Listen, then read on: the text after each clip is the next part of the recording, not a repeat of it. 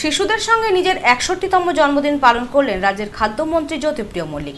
হাবড়ার একটি হোমে শিশুদের সঙ্গে আজকের এই দিনটি তিনি পালন করেন। শিশুদের হাতে শীতবস্ত্রও তুলে দেন তিনি। নিজের একষট্টিতম জন্মদিন হোমের শিশুদের সঙ্গে পালন করলেন খাদ্যমন্ত্রী জ্যোতিপ্রিয় মল্লিক।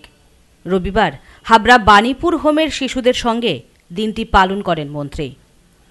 তিনশো আশি জন শিশুকে নিয়ে কেক কাটেন।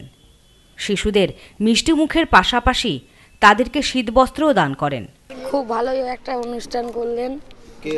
জ্যোতিপ্রিয় মল্লিক মন্ত্রী আমাদের জন্য সোয়েটার এনেছেন জন্মদিন ছিল। ডিয়ার মিল্ক দিয়েছে আর সোয়েটার দিয়েছে কেক দিয়েছে। হোমের নানা সমস্যার কথা শুনে তা দ্রুত সমাধানের আশ্বাস দেন জ্যোতিপ্রিয় মল্লিক।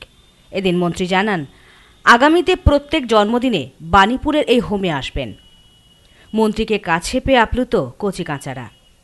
হোমের দায়িত্বে থাকা সুপারিনটেন্ডেন্ট কাকুলিকুণ্ডু চ্যাটার্জি জানান, মন্ত্রীর এই উদ্যোগে তিনি আনন্দিত। বর আমাদের ভীষণ আদরের মানুষ, আমাদের কাছের মানুষ, জ্যোতিপ্রিয় মল্লিক মহাশয়ের জন্মদিন এখানে পালন করা হলো। ইচ্ছেটা তারই।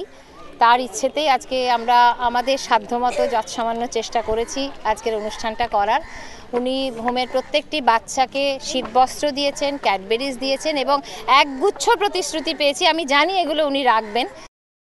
মন্ত্রী এদিন আশ্বাস দেন আগামীতে এই দপ্তরের মন্ত্রীকে তিনি হোমে নিয়ে আসবেন এবং হোমের পরিকাঠামোর উন্নতিতে সাহায্য করবেন। জন্মদিনটা তো কেক নিশ্চয়ই কাটবো সেই কেকটা কাট- কাটবো বাচ্চাদের নিয়ে কাটবো। জন্মদিন জন্মদিন শুনুন জন্মদিন সবার জীবনে একটা করে বছরে ঘুরে ঘুরে একটা করে জন্মদিন আছে। জন্মদিনটাকে স্মরণীয় করে রাখতে হবে আপনার কাছে। আমার বন্ধু বান্ধবরা নিশ্চয়ই আমাকে সেলিব্রেট করবে।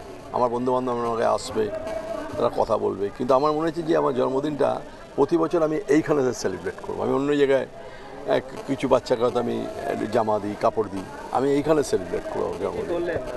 আর এই বাচ্চাগুলো অনাথ বাচ্চা তাদের পাশে থাকাটা এর থেকে বড় নোবেল কাজ হয় না সমাজ জীবনে। Bureau report news no man's land Habra.